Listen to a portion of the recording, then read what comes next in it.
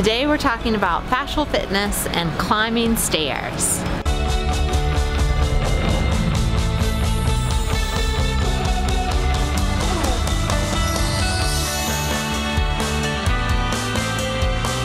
Welcome to the Pilates Show, where we explore creative, innovative, and fun Pilates tips and techniques that help to deepen the skill level of the movement educator while having fun. I'm your host, Jennifer Gianni, and today we're going to be talking about the Ninja Principle and stair climbing.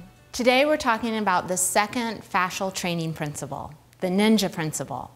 Previously, we talked about the same principle and we showed the elastic wall bounces. Today we're looking at another signature exercise for the Ninja Principle, stair climbing. Simple. This is one that Robert Schleip and Divo Mueller give as an example for the Ninja Principle. So again, we want this to be effortless and seamless and quiet. So every time we're going up the stairs, we're using a whole different amount of intention and tissue strength and coordination right? And the same with every time we're going down the stairs. So we can, you know, think of it as our up the mountain muscles or our down the mountain muscles. And so every time that we're going up, most of us will tend to use too much energy, too much force, and have sort of a downward um, sort of quality to our movement if we're not really thinking about it. And then going down, if we don't have that right amount of integrity, especially in our back body, we free fall forward and again, just sit into our joints.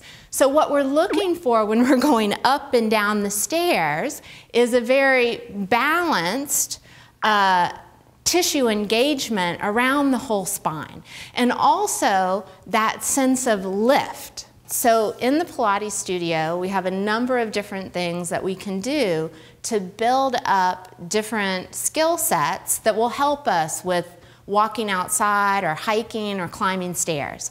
One of the simplest things that you can do is foot balancing exercises. So release work on your feet that's actually going to create the right amount of strength and flexibility in your feet. So the feet are built for mobility.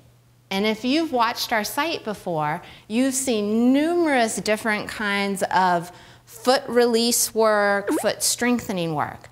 But just to give it a simple take here, all you need to do is roll your foot on a tennis ball or a spiky ball, a, a, ball that's right for your individual amount of tension that you're holding in your foot.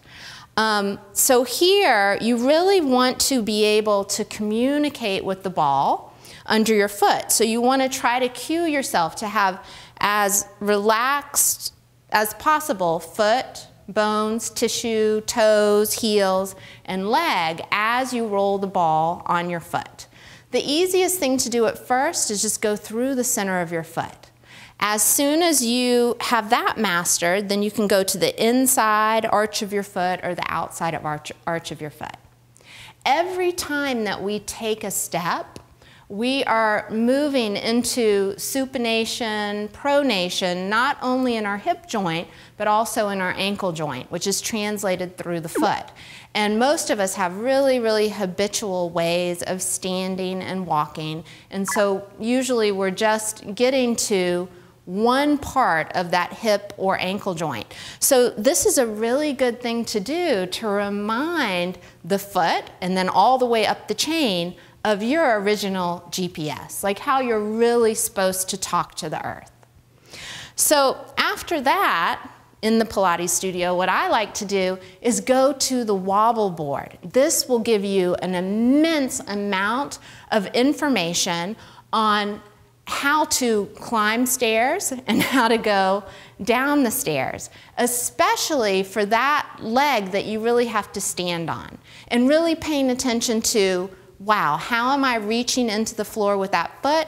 And in what way am I communicating with my hip, knee, ankle as I go up and as I go down? So here, and take the wobble board of your choice, right, and start really, really slowly. Because part of this work, just like any type of training in Pilates, the, the main emphasis is on learning to pay attention. It's learning to pay attention to your habitual compensations, right? Where you want to go just naturally.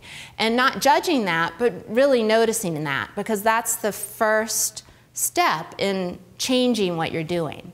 So here, I'm going to put my foot right in the middle. I'm going to try to be aware that I have all four corners of my feet and I have a little bit of balance on the wall. So going slower is actually going to be a little bit harder, right? So I'm paying attention to the suction cup of my foot.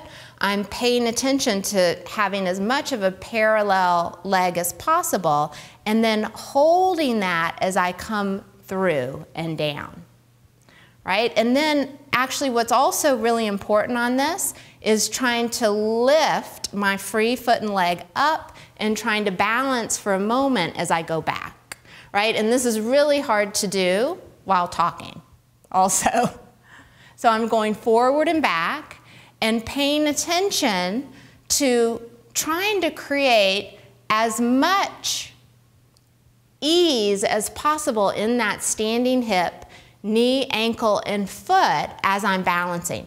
Because a lot of us on one legged work, which is walking, which is gait, that's one legged work, a lot of us tend to grip a lot in the pelvis and around the upper and lower leg bone and the foot. So here you have a little laboratory for yourself where you can actually balance and move at a slow pace and really pay attention to what you're doing on that leg and foot as you're going up the stairs, right? And as you're going down the stairs. And as you're going down the stairs, remember we talked about we kind of free fall forward. So really pay attention to keeping the whole back line of your body really full. Right? So again, going up the stairs, right? Keeping that upward lift, easy stand on my leg. And as I go down the stairs, I'm trying to keep the back line of my body really full, still paying attention to that back leg and foot. Ginger asked a question on Facebook about minor scoliosis and seeing more and more of this walk through her studio door. This is a great question, and I think that we all can relate to it as Pilates teachers. Uh, we do see uh, a lot of spines that look like, mm, maybe that's minor scoliosis. First, what I want to say is that you have to be really, really careful on diagnosing. We are not, that's not part of our job description to diagnose. So be really careful. Never ever say to a client, oh, I think that you might have scoliosis. That's not our job. If you suspect something like that, you might ask them to see their doctor, get an exam, but we are never, ever, ever should diagnose a client. Now, that being said, all of us, scoliosis or not, we're humans and we have lateral deviations because we do habitual movement all the time. So every human that you have coming through your door is going to have lateral deviations, which can look like minor scoliosis. Um, we have our beautiful model here, Casey. Casey does have scoliosis. She was born with it and she does beautifully with it. And for us today, she's really going to be sitting into her scoliosis. So she's going to really exaggerate that so we can, we can see it. Um, this is a very, very simple exercise, uh, touch and breath, to try to make your client with scoliosis or with a lateral deviation aware of their empty side and to help them fill up and become uh, more balanced. So we can see very clearly on Casey's back where she is empty and compressed and where she's full. And so we're using this image of maybe an old fashioned typewriter, right? Where she has really shifted her typewriter towards that left side. And so I want to bring a little bit more awareness to her right side. So what I'm trying to do is find those rib rings, and you can also see that she's more lifted on this left side also. So Casey, feel where I'm touching, and on your next breath, which can be an inhale or exhale, I want you to shift this rib ring more into your right side. Yep, and she's only thinking about that one rib ring. And then I'm gonna go down a little bit and you can see my fingers are at an angle because she has that left side lifted. But I would like for you to shift this rib ring towards your right side. Good.